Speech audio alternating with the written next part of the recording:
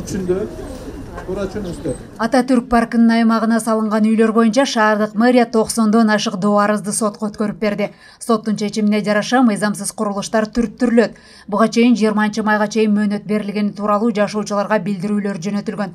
Мындан улам эки жүздөй эл чогулуп алар менен октябрь районунун акими жолукту. Чогулгандар парктын аймагын алгач менчиктештирген бир да чиновникке чара көрүлбөгөнүнө нааразычылыгын билдиришти.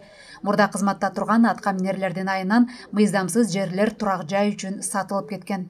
Эки миң онунчу жылдары уже төртүнчү покупатель. Биз деген ошол көп этаждуу үйдө биз алтынчы эме сатып алуучубуз да төрт этаж үй курулду ошого биздин уруксатыбыз бар. Ошол жерде төрт этаж үй курулсун деген жыйырма төрт сотук жерде.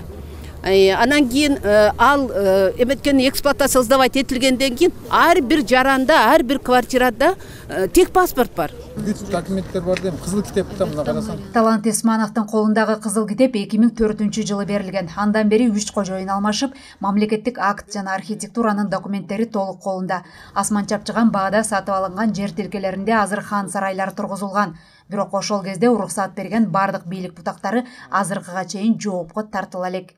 Экинчи үчүнчү төртүнчү бешинчи алтынчы жетинчи хозяинге чейин колдон колго өтүп кетиптир да алар бекер бербейт да саткан да. Кызылдай акчага эле сатып кеткен да. Аба жерди басып алганда биринчи хозяиндер да айтып атпайбы биринчи хозяинди мен көрө элекмин бул жерден аким айтып атат эми мэриядан бизге специалисттерин жөнөтсө мисалы жөнөтүп силер чыгып кетипсиңер десечи биз ошону жылдырганга өзүбүз даярбыз бир миң тогуз жүз алтымышынчы жылы эс алуу жайы катары түптөлгөн сейилбактын жалпы аянты жүз жети гектар болгон. Андан кийин көп жылдар бою айланасына турак үйлөр курулуп кырк үч гектарга кыскарган. Мэрия буга чейин тиешелүү болгон жүз жыйырма төрт токтомду жокко чыгарып жүз токсон сегиз турак үйдү мыйзамсыз деп тапкан. Эми токтомдун аткарылышын укук коргоо сот органдары менен биргеликте ишке ашырмакчы. Бул учурда жарандарга сатып алган жер тилкелери үчүн кенемте төлөө жагы каралган эмес. Биз баардык кадамдарды мыйзам чегинде алабыз ошол мэриянын чечиминде дагы бүт баары кадам кадам менен жазылган. Буга чейин чыккан кимдер кандай чечим чыгарса ошолорго эмне аны болсо мына прокуратурага берилип атат алар укуктук баасын берсин деп. Ошол жерде баардык мэрияга тиги укзга акимчиликке бүт эменин баары коюлган да. Ошонун негизинде биз иштейбиз да. Биринчи кадамдар биз айрым ушул жердеги чыгып кеткен муниципалдык жерге чегине чыгып кеткен. Мыйзамсыз турган курулуш болобу объект болобу тиги тосмолор болобу. Анын баарын биз калыбына келтиребиз. Ордуна келтиребиз да. Ошол. Андан кийинкилер болсо сразу эле параллельный прокуратурага берилгени берилип атат.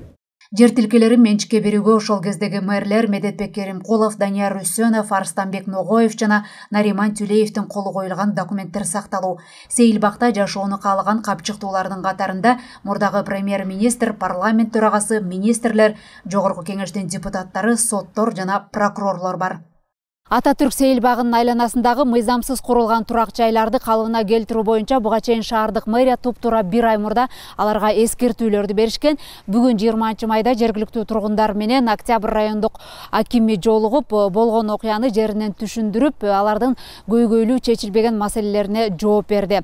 Азыркы тапта токсондон ашык турак үйлөр боюнча соттук териштирүү иштери уланууда. Эми мындан ары шаардык мэрия этабы менен ар бир ишти жүзөгө ашырмакчы элиза нурматова руслан сабатаров ала тоо жыйырма